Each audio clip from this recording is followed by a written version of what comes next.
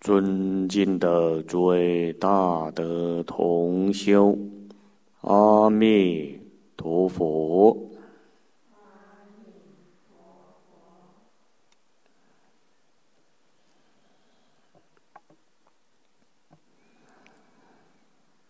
请大家合掌，我们一起三称本师圣号。即开经偈：南无本师释迦牟尼佛。南无本师释迦牟尼佛。南无本师释迦牟尼佛。无上甚深微妙法，百千万劫难遭遇。我今见闻得受持，愿解如来真实义。净土大经科注，请诸位同修先开注解二百九十七页，二百九十七页。我们接着看第二行，在前面一堂课，我们学习了十六位在家等觉菩萨当中的第十位菩萨——幸会菩萨。祖师大德给我们啊做了很详细的介绍。这位菩萨的表法告诉我们。修念佛法门想要成功，一定要具备真信，真正发大愿。同时呢，老老实实称念这一句弥陀圣号。想要把这句佛号念得真正有功夫，还是要靠呢经教的熏修。佛在经上已经告诉我们。能够对于净土法门深信不疑的人，那都是过去生中长时间的接受佛陀的教诲，所以他阿赖耶识里面累积的善根种子特别深厚。这一生再遇到这个净土大法，他能够相信，他肯奉献，到最后呢，成功了。说实在话。世间法出世间法，再大的成就都比不上念佛往生极乐世界。你看世间法里面多大成就呢？就人道来说，您最高的成就是什么？顶多让您当金轮王，是不是？管四天下，这个单位世界吗？您包了，您是最大的领导人。可是寿命还是会有到头一天。那天上呢？您做这个无色界的天主，到最后还不是要轮转，还是要堕落？思来想去啊，唯有求生西方净土，才是真正的一条大道。经上告诉我们，这个话我们常常也听到。人生难得，佛难知；幸会闻法难中难。得人生已经是很不容易了，闻佛法呢更难，尤其是听到佛法啊当中的念佛法门，那是最难最难的。那听到之后呢，肯不肯照做呢？如果真正老实听话真干，这个人就是诸佛如来第一弟子。所以我们要问一下自己：我到底是不是佛的第一弟子？像海贤老和尚、郭漏江老法师，这都是佛的第一弟子。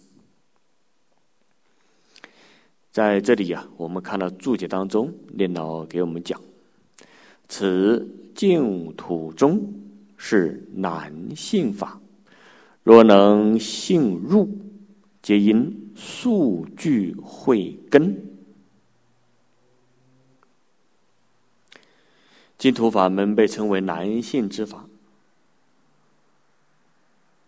这句话是释迦牟尼佛亲口所讲的。那我们难信能信，这是因为宿世的缘分呢特别深厚，常常亲近佛，常常听经闻法，可不容易呀！诸位同学，我们不要说别的吧，啊，我们先不要讲上报四重恩，就说自己好了。我们也要对得起自己过去生中辛辛苦苦的修行。大家想想是不是这样子？假如我们这辈子没有成就，啊，既对不起父母，也对不起佛菩萨，也对不起十方护持的这些信众，大德。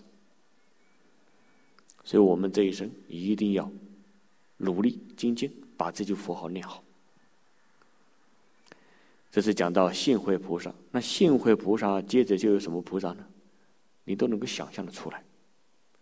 第十一位菩萨是愿会菩萨，大家看这个次第哦，可不能够摆错啊。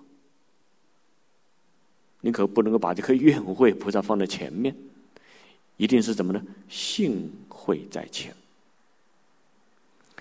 这位菩萨是表阿弥陀佛大愿之王，智慧广大，又可与信会正式合参。所以呢，我们要把这两个大菩萨合起来看。正表净土以信愿持名为宗，两个大菩萨放在这里，我们就能够看得出，他们是代表什么呢？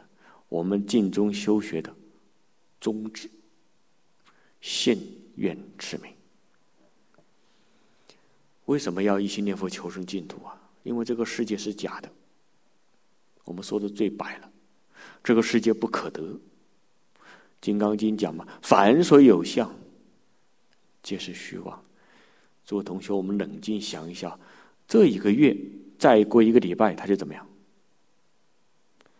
就过去了。今年上半年呢，就晃过去了。你看这个半年哦，不知不觉就过去了。请问下半年呢？再看一下我们时间长一点，这前半生呢？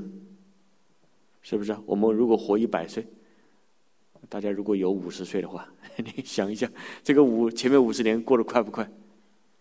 弹指之间呐，要好好珍惜。其实这个法门呢，它。太妙了，妙在哪里呢？要求的条件非常非常低，您只要做到三个字，肯定成就。信愿行，而这个修行的方法呢，是上根、中根、下根都有份，都可以做得到。同时，我们去那边也不必把符号念到很高的境界，只要达到功夫成片、下下品。就行了。当然要把这个佛号念好，务必要把这个世缘看淡。要晓得这个世间一切的一切都是无所有，毕竟空，不可得。我们只有一个愿望：到极乐世界，亲近阿弥陀佛，亲近诸上善人，然后呢，在道家慈航。普度一切有缘大众。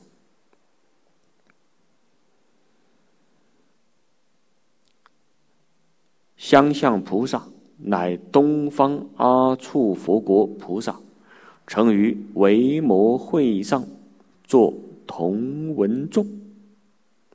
这是讲到第十二尊菩萨，他是从哪里来的呢？东方阿处佛国。哎，他曾经在维摩会上啊，也做过这个上首菩萨。我们都晓得，这个既然叫他相像，证明这一个相呢，他身上有一股香气。所谓的“相像生出香风”，此菩萨身香亦如是。相向力大，表弥陀愿力无边。原来这尊菩萨也是来表法的，他也来现场呢做影响众。跟这样的善知识在一块儿，您就能够感受到他身上的磁场好。人家身上有香气，我们身上有什么气呀？臭气、晦气，脏死了。嘴巴一张开，哎呀，人家都不好意思说我们。那这些大菩萨呢，修的太好了，性德真正起现行。第十三位菩萨，宝音菩萨表弥陀愿海，乃无量功德妙宝。之所庄严，能令凡夫无功德者尽登不退，正如涅盘是乃宝中之音，故曰宝音。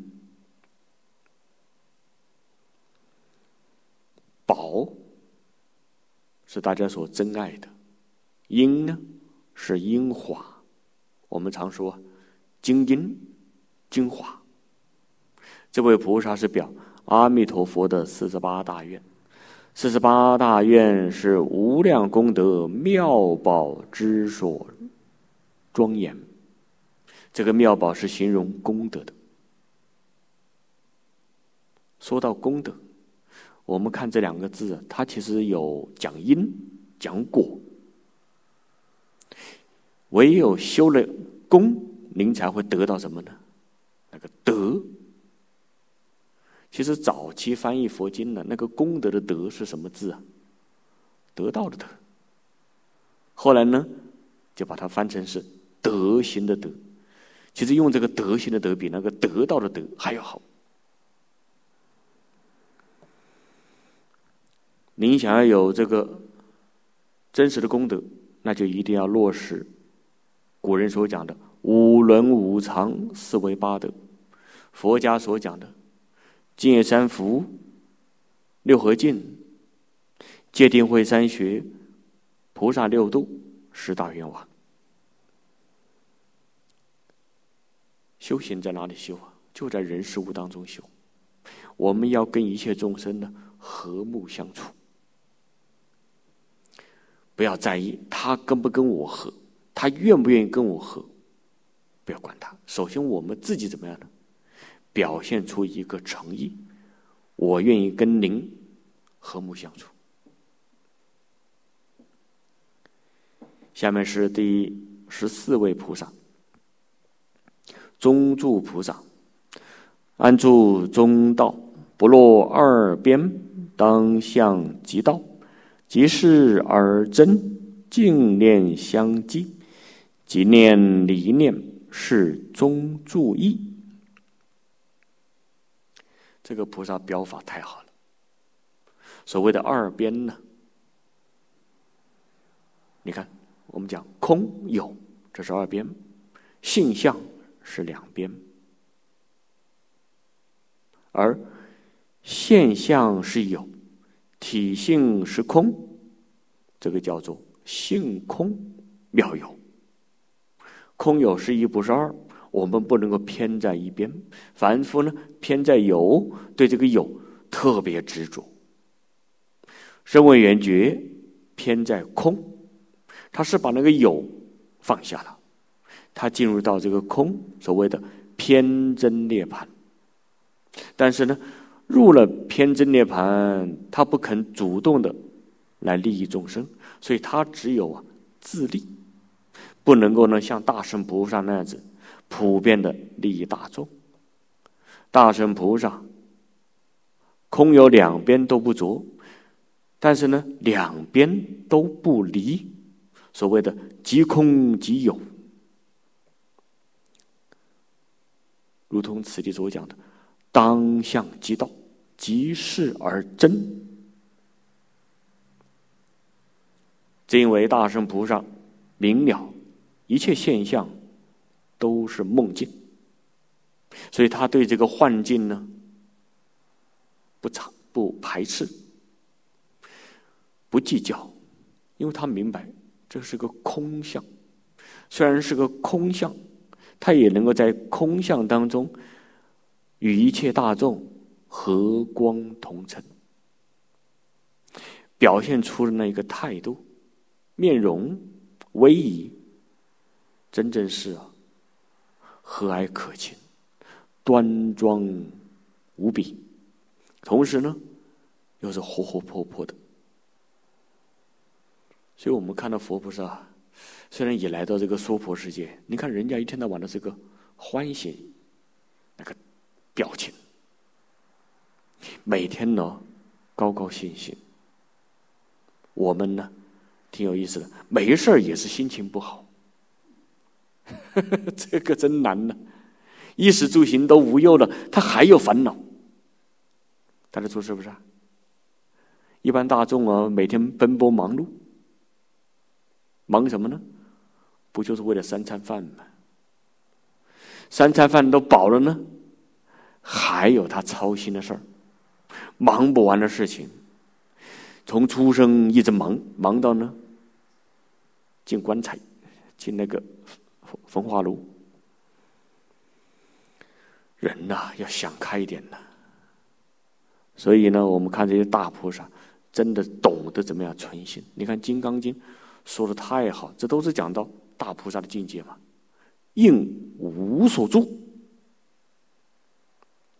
讲到自己了，什么都不要执着，什么都不要分别，任何杂念妄想不让它冒出来，这讲到自度。可是自度的同时呢，也不要忘记别人，而生其心。大圣经呢，真的是讲的太好了，方方面面非常的齐全，所以佛菩萨。对众生的照顾无微不至啊！不管我们在哪一道，从来没有舍弃我们。尤其是佛菩萨最想告诉我们的修行方法，就是念阿弥陀佛，求生西方净土。修别的法门，我们平心而论，真的是太难做到了，根本就没办法做到。唯一能够。有把握的、有决定性把握的，就是选择修净土法门。这是十方三世诸佛共同的看法，而且呢，事实证明这个方法行之有效。第十五尊菩萨是智行菩萨，这个智啊，经上讲。智心一处，把我们所有的意念都集中在一点。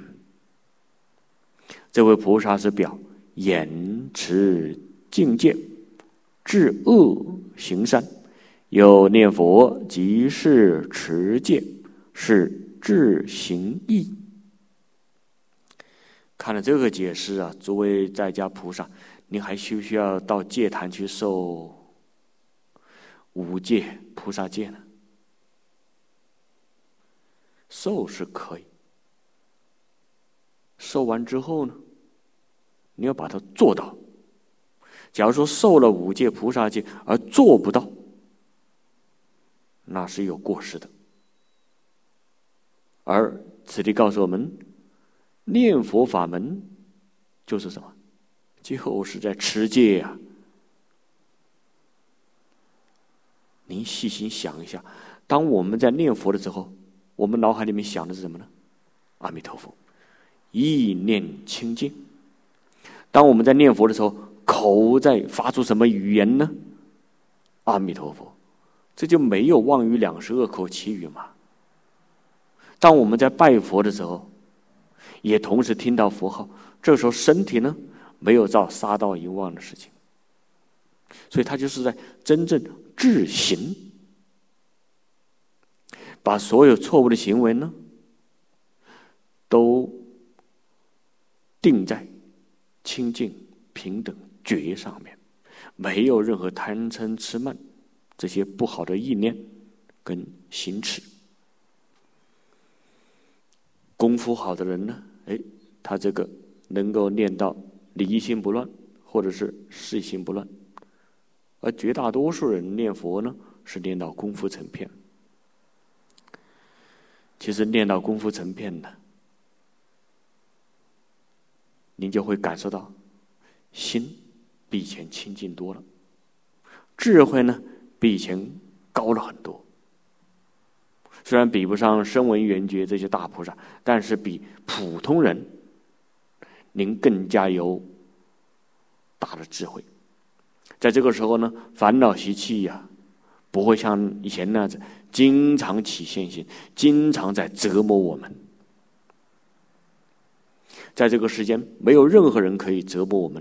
只有自己的烦恼，在让我们呢身心不安。学佛吗？没有别的，就是要把内在这些所有的烦恼习气，全部的把它清除干净。而这位菩萨表法就非常好，我们就用这句佛号控制住自己的所有杂念妄想。当然，世间人呢，他这个放不下的东西很多。其实我们也是这样子，很多东西呀舍不了，嘴巴讲放下，放不下，那怎么办呢？放不下也要放，难行能行，难忍能忍，难舍能舍。释迦牟尼佛就是个很好的一个例子嘛。世间人贪图的名闻利养、财色名利，他都放下了。到深山里面苦修那么长时间，十二年，放下越多，反而呢，你得到的是更多。我们越是不肯放下，将来得到的呢，未必是您所要的。所以有时候啊，看那些贪官呢。其实他在哦，受到别人诱惑之前，人还蛮不错的。时间一长呢，财色名利一起现行，他就把持不住了，到最后完全变得面目全非。当他被抓住的时候，要判刑的时候，后悔莫及。这个是什么呢？没有定功，没有智慧。像这样的例子。古往今来，古中中外，古今中外呢，很多。那怎么办呢？想要保护好自己，还是离不开圣贤教育。所以我们这一个佛法的学习，每天都不可以中断。要向这个大菩萨学习，要用这句佛号控制住自己的身口意三业，绝对不能够再造恶业了。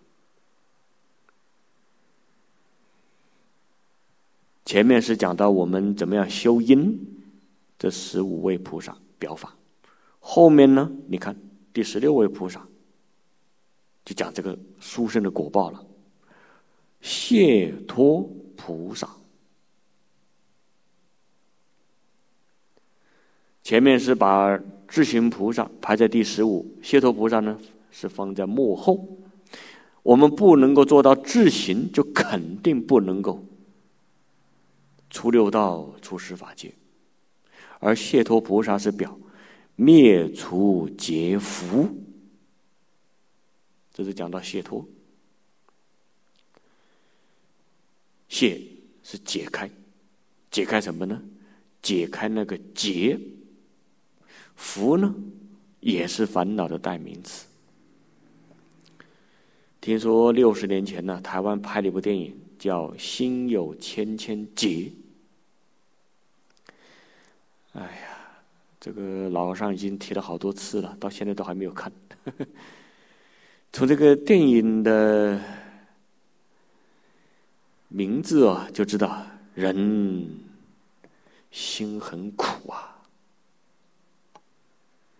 其实这个苦呢，也不是外面强加给我们，是我们自己呢误判了外面的假象，把外面的六层境界呢误以为都是真实的，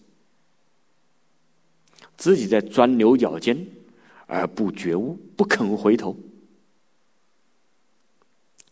真的是可怜明者。那么经上一讲啊。深读度脱，获其福德，可得长寿离还之道。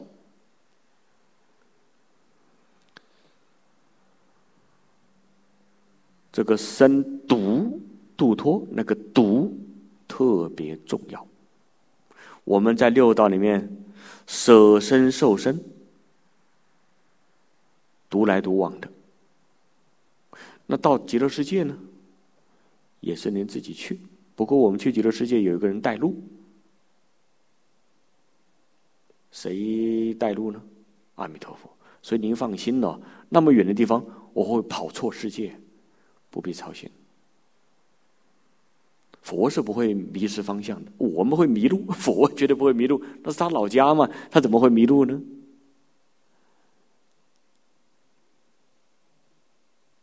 所以啊，看大圣经非常好，帮助我们晓得宇宙的真相到底是怎么回事一定要明白啊！您现在所住的这栋房子，您跟他有缘，你就住在这儿了。有缘的时候呢，叫缘聚。家里面的亲属，不管是多少个人，也是个缘分。有缘就待在一块儿。没有缘呢，说不定明天就分道扬镳了，各奔东西。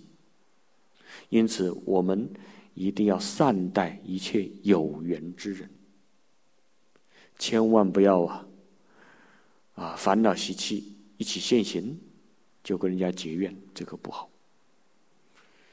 假如说我们实在是忍不住怎么办呢？真的是人跟人之间相处啊，挺不容易的。再好的亲戚，再好的缘分，再好的朋友，也是会有怎么样呢？有误会的，有冲突的现象产生。在这个时刻，我们要用这句符号压住自己烦恼。你真的要讲话啊，跟对方解释的时候，最好是先念佛十声。念了十声符号之后，您再张口说话。不要呢，对方刚刚一讲那个话，您马上就回过去，太急了。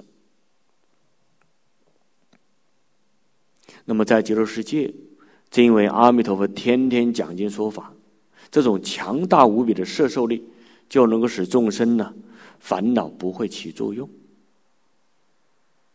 其实我们到达极乐世界，会不会遇到过去还有这一生的冤亲债主呢？说真话啊！会，您可能就担心了。会呀，那有多少啊？再说一句实话，很多，这是真的。用无量劫来，我们在十方诸佛刹土都待过吗？可是人家怎么样呢？他先成就了念佛三昧，他先到了。我们是晚，现在才去。可是人家呢？因为常常听佛讲经，所以他能够转八十成四字。那我们呢？去的时候也在莲花当中，在佛的帮助之下，同样做到转八十成四字。所以，纵然是冤亲债主在极乐世界碰了面，都不会怎么样呢？大眼瞪小眼，都不会呢发生这个口角的现象。每一个菩萨在一块儿，都是啊非常和。和睦的，非常和谐。所以在那里绝对听不到呢菩萨这个争执的现象。哪里像我们这个世界，说话一不小心呢，就被人家记住了，逮着机会呢，他就会来报复我们。所以在这个世间呢，真的是一个字，烦呐！这么烦的一个世界，我们还不想离开，还不想得到解脱，这真的叫什么？没有智慧。已经明了极乐世界那么好，我们就应该要向往，早点去那边。经上还说：“执思经者，随所愿，皆可得度。”我们这一生呢，真的是缘分呢，太殊胜了，能够遇到这部经，尤其是遇到了这个会集本。再加上念老的这个注解，还有师傅上人这个播经记，只要肯依教奉行，今生肯定得度，不必怀疑。下面而为上首表以上十六正事，为会中无量无边，一时来及之，在家菩萨中之上首。从这个介绍啊，我们就要明白，原来参加七度觉山无量寿会的在家菩萨数量是无量无边，而前面所列举的十六个在家等觉菩萨，是他们当中呢代表人物。据会书及真解义，一普贤文殊。正是释迦会中上首，故举两大事，总摄会中一切菩萨。这是根据啊会书跟真解里面的意思。第一个呢，普贤菩萨、文殊菩萨都是释迦牟尼佛这一会里面的代表，所以呢，用他们两个大菩萨。就总摄法会当中所有菩萨。本经先列的是声闻众，以五尊大阿罗汉为代表，接着列菩萨众，出家菩萨列了三位，在家菩萨呢有十六位。这十六位菩萨可以讲呢。代表这一个法会跟其他的法会是不一样，因为这一个无量寿经的法会呢是一个普度的法会，因为其他的法会啊有它特别的当机者，可是念佛法门呢没有特定的对象，所谓上至等觉菩萨，下至地狱众生。都是这部经的当机者，只要肯奉行，一定能够呢满足他的大愿。第二个，弥勒是当来贤劫成佛诸菩萨之上首。三贤护等十六正士是会中居家菩萨之上首。此说稳妥。故不采静影之说，必将文殊普贤亦并于贤劫成佛之菩萨中也。这是中外的大德啊，他们对于这些上首菩萨的看法呢有所不同。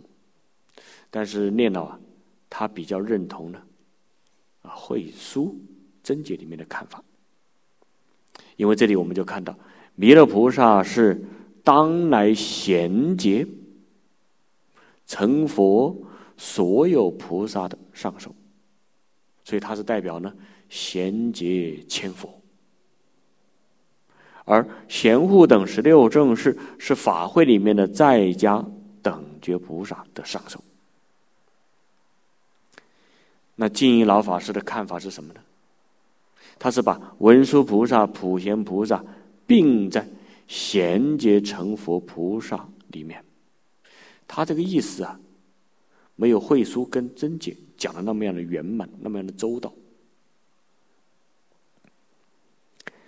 我们再看底下一句经文：“贤供尊修普贤大士之德。”念老说：“本品从贤供尊修。”至品末之不可思议，皆是赞叹普贤大士即会中一切菩萨之德。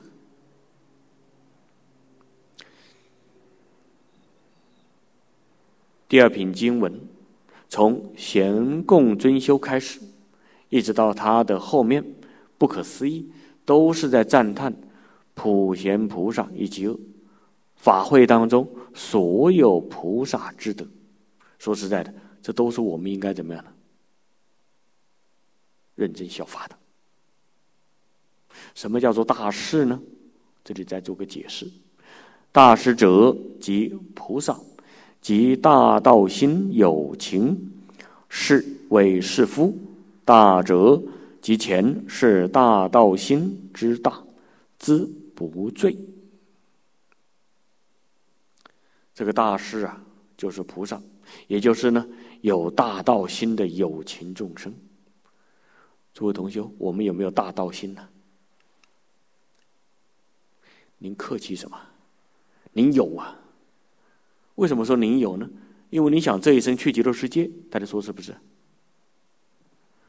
那您就是属于呢这个菩萨范围。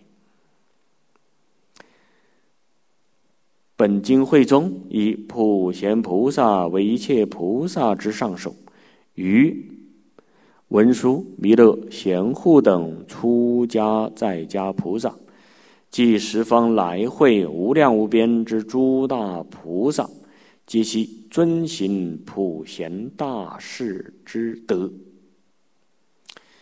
看来普贤菩萨的十大愿望，我们真的有很有必要来认真学习。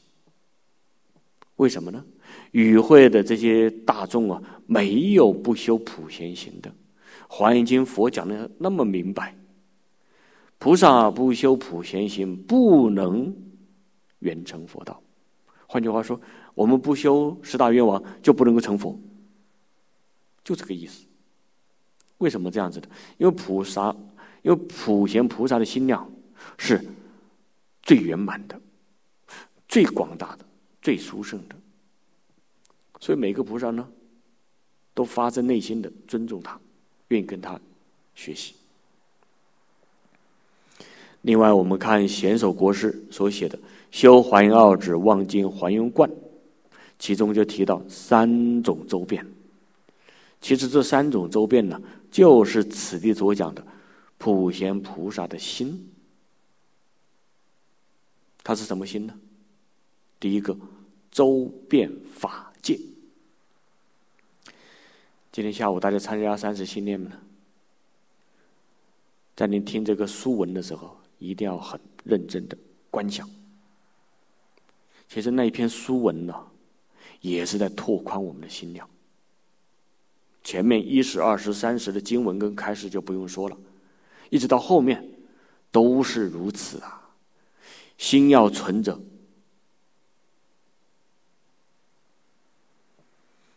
包容虚空法界所有众生，这样的一个大心量。第二个呢，出生无尽，这是讲到他的德用了。周边法界呢是讲的信息。第三个是说含容空有，有情众生要能够关心他、照顾他；无情众生呢？也要平等的爱护他，帮助他，成就他，这才是普贤心、普贤行。下面接着说，普贤大师乃华严长子，其智德及十大愿王，道归极乐也。普贤菩萨在华藏会上称为长子，文殊菩萨呢称为庶男。这是毗卢遮那佛的最得力的助手。他的智德是什么？就是十大愿王。这个智是讲达到圆满，达到究竟。那他这个智德就是信德，所以他的信德是十大愿王导归西方净土。这个我们在普贤菩萨行愿品呢就有看到。他的智德，具体来说有十条。第一个，礼敬诸佛。我们要明白，世出世间一切现象，都是从哪里来的呢？从自信所现的。所以明白这个道理啊，我们就懂，原来相就是性。性就是相，性相不二，性相一如。性是佛，所以才说呢，一切众生本来成佛。这一切众生是广义的说法，一切法皆是众缘和合而生起的现象。物质现象是众生，念头的现象是众生，自然的现象。还是众缘和合而生，所以呢，都叫做众生。因此，众生这两个字就把所有现象全都包括进了。科学家呢是讲物质、信息、能量，其实这个跟佛法所讲的是一样的意思。那佛法提到阿赖耶的三细相，也就是境界相、转向。业相，他们也是众缘和合而生的，所以这些呢，也都叫做众生。因此，从这个说明，我们就知道，原来所有众生都是自信所现的。既然都是自信所生所现，那就是平等法。所以我们对待众生呢，不可以再有分别心产生。华严经上讲啊，情与无情同源种智，缘就是圆满，一切种智呢就是佛智。有情众生有一切种智，无情众生呢也有。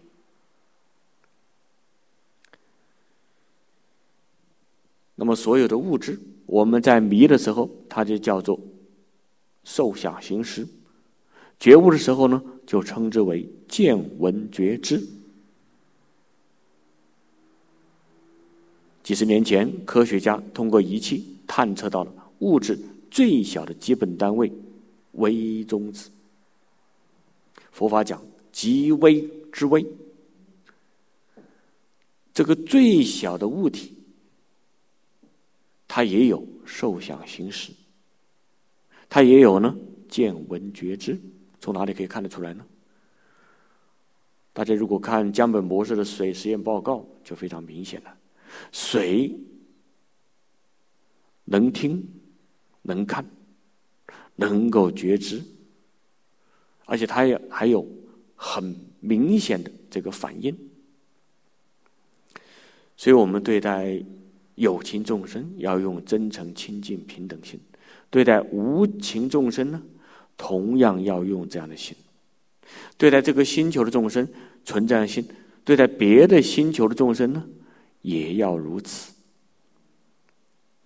师尊在《华严经》上告诉我们：“微中子啊，他不是讲微中子，是讲这个极微之微。科学家是讲的微中子，这个极微之微怎么样呢？”里面包含着无量无边诸佛插图，而这么多的插图呢，又有无量无边的微中子。你看喏，这不就是古人所讲的吗？大而无外，小而无内。谁能够进到这个微中子里面去参访那些诸佛如来的普贤菩萨？这种能力啊，其实我们大家也有，只是现在呢，迷失这种本能。等我们到达极乐世界之后，这些能力全都能够很快恢复过来。那么知道事实真相之后，我们就应该啊，从今天起善待一切众生，不要呢再跟众生呢有意无意产生新的这个冤仇。要知道，我跟一切众生是一体的。所谓的三生一体，一体三生，明白这个缘由。那这个礼敬诸佛，我们做起来就比较容易了。不懂这个道理之前呢，要我们对待一切众生呢，恭恭敬敬，太难太难了。也很想做，没办法落实。幸好我们这个过去生中啊，呃，脑海里面这个阿赖耶识所储存的善根种子多啊。现在在听闻到这个大圣经典，猛然就觉悟了，知道自己错了，知道自己呢内在的这个执着分别啊根深蒂固啊。换句话说，我们现在真的是迷得太深太深了。就算现在又遇到佛法，可是呢还是敌不过那些不好的念头，怎么办呢？还是要多花时间读经听经，要想方设法把自己的五种见惑、五种思惑转过来。怎么转？八万世间法门都是要帮助我们大家达到这样一个目的。我们现在呢，不用别的方法，就用念佛。所以，一旦呢，身见、边见、见取见、戒取见、邪见，还有贪嗔痴慢疑发作的时候，立刻就想到阿弥陀佛。还有一个方法，他们还没有发作之前，你也保持念佛，请问他会不会发作？他 就不会了嘛。我们为什么会有这些见惑、失惑突然就爆发呢？佛号中断了。这就是病根呢，所以大家一定要养成一个好习惯。早上一醒来，第一个念头就想什么？阿弥陀佛。晚上要休息时候，还是哦，心里面跟着房间那一个念佛机，默念佛号，时时处处让自己。都被这个佛号啊包围住，这个好。因为呢，我们清楚啊，不念佛就容易起那些不好的意念，嘴巴呢就管不住，手呢就控制不住，总想占人家一点便宜，总想呢啊说一些哦，说那些不该说的话。说了那句话呢，又后悔。可是呢，说出的话已经收不回来了，太冲动了。因此，那些念佛功夫得力的人，你看他是个什么现象？一天到晚没有什么杂心闲话。再看他的表情，再看他的眼神，再看他的动作举止，啊，即使是上年龄了，啊，七八十岁了。走路轻松啊！我们现在走路哦，好像脚上被绑着什么 铁链子一样，如履蹒跚呢，心事重重。我们也很想自己轻松，轻松不起来。这个都跟别人没有关系，都是我们自己啊，不肯回头。佛呢很有耐心呢，一而再再而三的劝。他这次来嘛，他劝我们劝了多久呢？四十九年，你看留下这么多的经典，我们只要肯认真的学习，哪有不得力的道理？当然，现在我们不需要，呃，把每一部经都来学习。我们没那么多时间，没那么多的精力，我们的能力也不够。怎么样能够在最短的时间产生最显著的效果呢？学一步就好了，一部经，一个法门，老老实实的照佛的话去奉行，很快就能够把这个礼敬诸佛的那个心呐，就慢慢发出来了。纵然一开始做的比较勉强，没关系，勉强之后就变成什么呢？自然的。要养成一个好习惯，所以我们在日常生活当中，不管是顺境还是逆境，善缘还是恶缘，都要牢记普贤菩萨的话，随顺他们。而只要他那个事情哦，不太过分，没有伤害到大多数人，我们就怎么样呢？所谓的睁一只眼闭一只眼，何必那么认真呢？我们之所以会起烦恼，就是我们看得太清楚了，耳朵呢听得太明白了。你看古人都在教我们大家，是不是？这个有一句老话怎么说呢？难得糊涂啊！他难得糊涂。就证明这个人呢，他心里是很清楚的，他不会呢，嗯，很容易就冲动，很容易呢就表态，心非常的稳重，这就是佛门常说的定功很深，定的很深，智慧相对来说就高。第二个大愿。称赞如来，其实如来跟佛有没有什么不同啊？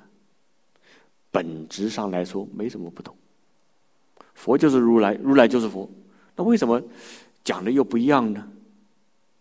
为什么不说礼敬如来，称赞诸佛呢？还是有一点点不同，不同在哪呢？诸佛是从事相上来说。如来呢，是从体性上来讲，一个是表表面上，一个是什么呢？内在实质。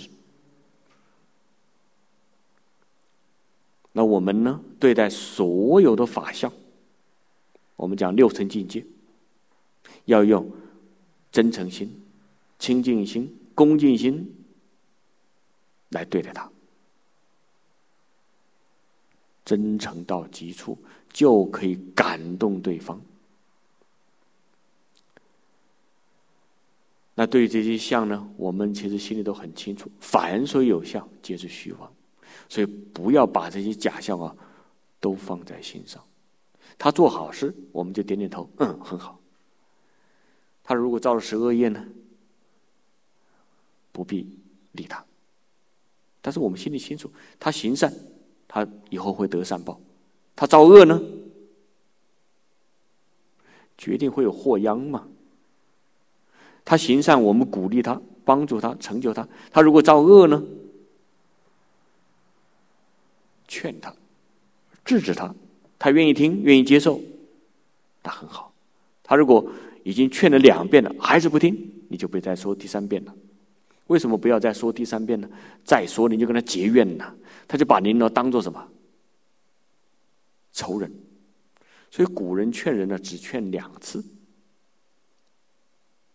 古人说两次，我们现在劝人家几次？劝第一次的时候都要注意察言观色，您一边讲一边看他的眼神，看他的表情。如果您讲着讲着他脸就变了，眼神也变了。后面的话还要不继续讲完呢？您可不要，哎呀，打开天窗说亮话，全部都说出来，那就大得大得罪人喽。一看到他脸色一转，马上就止住，话锋就转。我们晓得这个人呢，缘分未到，说不动他就不要再讲了。可是那个愿意受教的人，那就应该要详细跟他说。所以这个智慧呀非常重要。那么我们看善财童子，他参访五十多个善知识的时候，五十三参嘛，有五十个菩萨呢，他是有礼敬，也有赞叹，但是有三个菩萨呢，有礼敬而没有赞叹，哪三个人呢？圣热婆罗门，他是代表愚痴，这个不能够赞叹；甘露火王代表嗔恚，这个不能够夸他；法苏密多女是代表这个，因为她的身份是妓女嘛，代表呢贪爱，这个也不能够赞叹。所以我们呢要做一个慎重的选择。有的时候该讲就讲，不该讲呢，一个字都不提。第三个大愿是广修供养，广修供养。这佛门呢，常说要培植福田。呃，前几天呢，还有同学就问这个福田。修福修慧，这佛门提倡的嘛？那我到底是先修福呢，还是先修慧呀？两个人呢就有点争执。有人说，一个说先修福，另外一个说要先修慧。吴师就跟他们两个人就建议，最好两个同时修，是不是？最好嘛，这两个都修。那如果实在不得已呢？我们先修什么呢？先修福。就像我们同修啊，来这里学习这一堂课，这是什么？如果您没有福报，不可能今天呢轻轻松松、无忧无虑的来到讲堂听这一堂课。假如说你刚刚要出门，什么都准备好了，要出门。都已经上车了，车子都已经发动了，车库的门都已经打开了，正要开出来，忽然你的家人怎么样呢？急匆匆跑出来，把您叫住。哎，有一通电话找你。你一接电话，有人说什么重要的事情，什么紧急的事情，叫你赶快过去。你看，他这一通电话就把您怎么样呢？今天听经的这个机会就给耽搁了。这就是什么？这就是没福。那我们呢？想要种到真正的良田，还是要有智慧才行。哪些是良田呢？父母，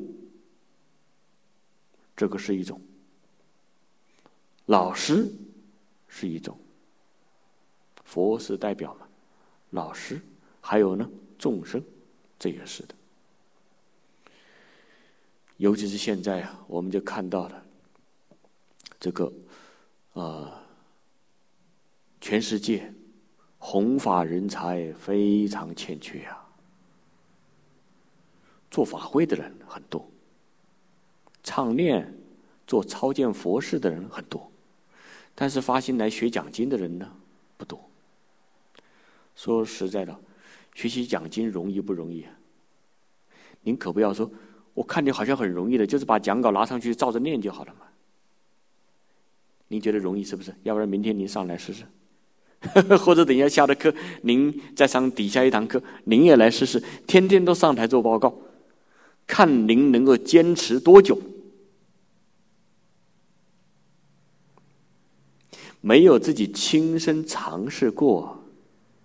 最好不要随便的做轻易的评判评论，自己试过了才知道，原来世间法不容易，出世间法呢更不容易呀！不信的话，等一下晚上啊，等到晚上三十七念做完了，您请教一下主法和尚，您今天发心做这个六个小时的法会容易不容易呀？他会跟你说一句实话，好累啊！我回去要睡觉。他为什么这样子说呢？你想想看嘛，六个小时，光是坐在那一动不动，也要有体力的。唱念不能够唱错了，白文不能够念错了，念错了人听了不高兴，还有谁也不高兴呢？无形众生他们不高兴呢。如果唱念唱错了，那可麻烦也是挺大的嘞。所以说，每一桩事情都是要付出什么努力。那我们看到现在这个弘法人才太缺了。那如果有人学习讲经呢，我们就应该帮助他成就他。我们把这些哦，比我们优秀的人啊推出来，让他们在前面，我们在后面，这个好。我们希望这个弘法人才嘛是越来越多，这种师资的力量越来越庞大才好。所以啊，讲到供养，我们就举一个方面，能够供养一个专修净宗的小道场，那是无量功德。我们把这个道场、念佛堂建好了，疗房建好了，斋堂也建好了，还有一个视听图书馆也弄好了。哎，大家在那边呢，专心的念佛，专心听经、读经，然后衣食住行不用担忧，这个功德非常大。人数也不要多，二十个人就好。还有一个，要培养弘法人才。嗯，说真的，要培养一个讲经的人才，至少也要十年以上，最起码也要十年以上。我们又不像慧能大师那么厉害，是不是？人家听听《金刚经》四分之一就大彻大悟。假如说我们这个道场，所有的同修都只要一点点时间就大彻大悟，那那这个这个道场不得了，那是那是非常殊胜的一个道场。那中下根性人怎么办呢？要长时间的上台锻炼，才能够成就得了。十愿的第四个是忏业障。前面的三个大愿呢，是讲到修德，我们要积功累德。那这个忏悔业障放在第四，表什么法呢？修了这么多功德，你要把它保住啊！如果保不住，就好像一个容器哦，它有个漏洞，它就会流失掉。从哪里漏掉呢？从烦恼习气就漏掉。其实我们人呢，真的那个话呢，平常呢讲的越少越好。古人说的好啊，“知识多时烦恼多”，识就是认识人多呢，是非多。诸位同修，你就查一下您的手机吗，有多少人天天跟你联络呢？再查一下您的微信，您的朋友圈到底有多少人呢？一看呢，吓一大跳，哎呦，好多好多人！不要说吧，一天人家发几个信息，一个人发一个信息给您，那么多人同时发进来，您说您这一天当中哪有时间静下心来专心读经念佛的呢？很不容易。而这个业障，业是讲呢，我们造作，造作完之后有一个果报，行善事会有个果报，三善道。那么如果造的恶业呢，也有一个结果，就是三恶道。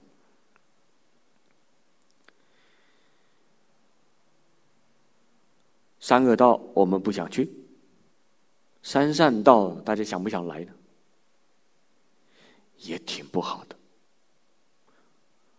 我们今天呢是在十法界里面，算是很低层的这个境界啊，在六道里面算是呃在当中稍微高一点点，但在十法界呢算是比较低。为什么会这样子的？都跟我们造的业息息相关。所以我们造业一定要按照佛所讲的那个标准才好。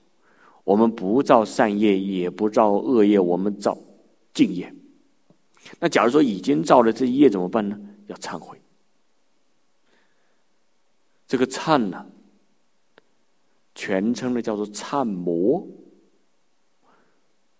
这是梵语，翻成中文呢就是悔。所以这个忏悔，它是泛华合一的一个名相。那这个悔呢，就是后悔的意思。真正的忏悔，是说我们从今天起再也不犯前面所造作的那些过失。儒家所讲的嘛，不二过。颜回为什么受到孔老夫子那么样的？常常赞叹，他最大的一个优点之一，不会再犯第二次过失。我们大家有没有呃向佛菩萨、向善知识忏悔完之后还继续犯错呢？还是有时候啊忍不住啊，忍不住怎么办？其实也知道做的不好，说的不好，还是敌不过这个烦恼习气。唯一的一个办法就是深入经教，一定要深到什么境界呢？大开眼界才行。那我们最起码要从《弟子规》开始做起，要从呢《佛说十善业道经》《太上感应篇》做起。真的，您在这些方面呢多下功夫，也不用很久，两年三年，每一部经。学习个一年、三年下来呢，你就会发现到自己啊，跟以前不一样，变化很大。儒家所讲的五伦五常、四维八德，我们要把它做到；佛门所提倡的三福六和、三学六度、十大愿王要落实。贤首国师在《修还原二指望尽还原观》。也特别强调了四德，这是信德。第一条就说到了随缘妙用。说真的，我们能够做到随缘妙用四个字，您走到哪，人家都喜欢跟您交往，都想跟您做朋友。我们为什么朋友这么少？为什么冤亲债主那么多？我们内心里面的分别执着太强了，我们是不愿意随顺别人，我们都想怎么样呢？你随顺我，你要听我的，想要别人都来听您的。我们如果福报不够大，谁听我们的？连那个小朋友都不听，小朋友都难转变他的念头，那更何况是大人呢？一般来说啊，人到了四十岁以上，成见就很深。我们有没有到四十岁？差不多了，是不是？那这个时候怎么办呢？只能够通过读经改自己的观点，修正自己的主观意识。四德的第二个，唯以有则。先不要讲佛法这些戒律。威仪，就说儒家的五伦五常、四维八德，您能够把它做到，那至少这样人被称为什么人呢？君子。做到君子可不容易了。现在地球上八十亿人，多少个人可以被打分数评为君子的？别人够不够资格成为君子，我们不要去管他。首先问一下自己：我做到多少分呢？那佛法是还要讲求呢，出六道嘞，还出四圣法界。那我们这个要求呢就更高。所以学佛的人真的要跟那些不学佛的人见解不一样。假如说我们读了经、听了经呢，甚至讲了经呢，还是随顺烦恼习气，那这个学等于是没学。你学了一辈子，啊，纵然是有成就，写了很多著作，印刷流通出来，我们最多称您是谁呢？佛学家，是一个学佛的啊一个专家，但是呢。自己还是没有啊转自己烦恼，这依旧是啊功夫不得力。所以这个业障呢，一定要想尽方法来克制它。你看这个永明延寿大师，他老人家在世的时候，就表演给我们看，他每天的定课十万声符号。大家昨天念佛多少万声啊？有没有是五万呢？恐怕三万都没有。这就是为什么我们的定功敌不过烦恼习气。大家可要晓得，我们阿赖耶识里面的储存那些恶习种子，不晓得有多少。而且法相唯识中的经典也讲了一桩事儿：每个众生都有五十一心所。五十一心所里面呢，有二十六个恶心所，十一个善心所，这叫我们内在的。有了这些恶因，如果再加上外面恶缘，啊，碰到这些坏人，碰到那个什么不好的环境，我们就受不了了。所以呢，忏悔业障最行之有效的方法，无过于念这句阿弥陀佛。而且我们真正想要消业障，那这个佛号念的时候，要用真诚心、恭敬心、清净心、平等心、大慈大悲之心来念。这样子念佛，效果就越来越明显。它达到什么样作用呢？就像《观经》上所说的，一句佛号能够灭除八十一劫生死重罪，八十一劫这么多，一句佛号当中就把它消除了。同时呢，一句佛号能够消八万亿劫生死重苦。所以啊，佛号念的越多，这个人往生到极乐世界，品位呢？相对来说就越高。从这我们就明白了，为什么郭漏将老法师他能够站着往生，断了气了还能够站三天三夜，就是因为人家念佛呢，确确实实做到了老实听话正干。假如说我们现在。也有这样的大德，做一个示范，那对我们这个修学进中啊，作用就太大太大了。当然，我们不要指望别人做到这点，有一个人一定要发心去做，那个人是谁？就是我们自己。说真的，我们自己如果现在不做，你等到什么时候再做？这样一直拖下去。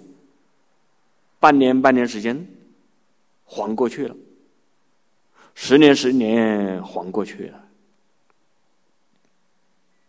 那这一辈子如果晃过去怎么办？难道我们还想等到弥勒菩萨再来帮我们？难道您已经跟他约好了，下一次龙华三会记得来度我啊？他老人家找我们没问题，那也要看自己的福报够不够啊，能不能够也出生在同一个年代、同样一个地区喽？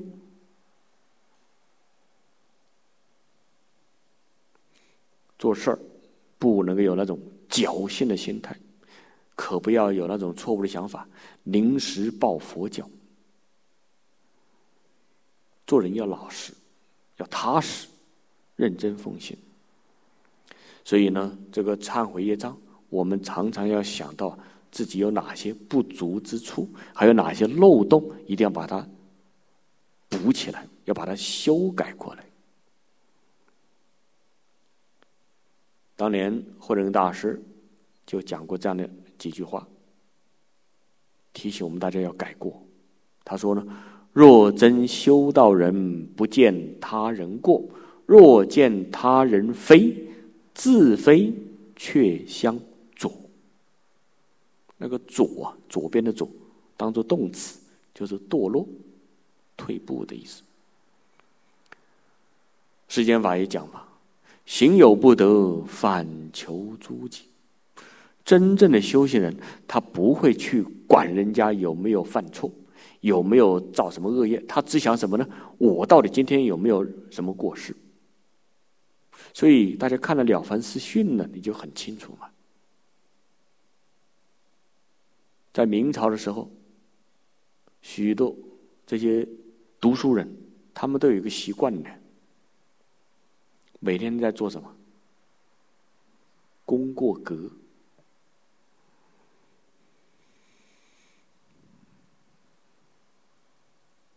每天啊，反省一下，我有做哪些好事，我有哪些恶念、恶语、恶行照做，有呢就打叉叉。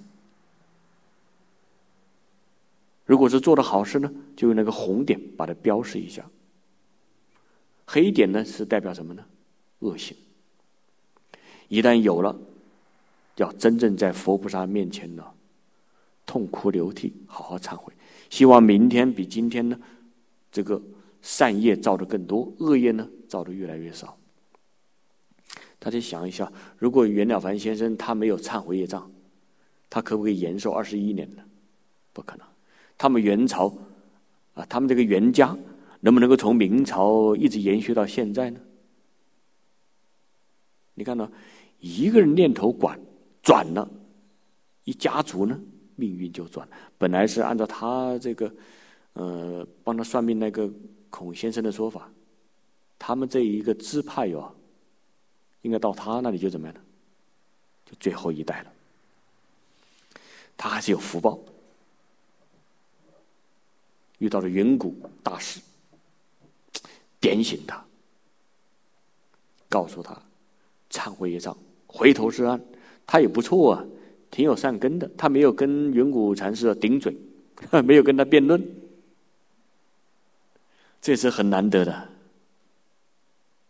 毕竟他还是读过圣贤书嘛，有这个底子在，不错。哎呀，所以他还是遇到一个贵人，帮助他这一生呢转变自己的命运。所以我们呢，看这些例子，一定要认真反省、检讨，我有哪些还不对的地方，好好的改正。我们自己改好了、修好了，无形当中就会影响到周边的人，他们呢也会因为我的进步而呢受到正面的影响。好，后面还有七个大，还有六个大愿，我们明天呢接着来学习。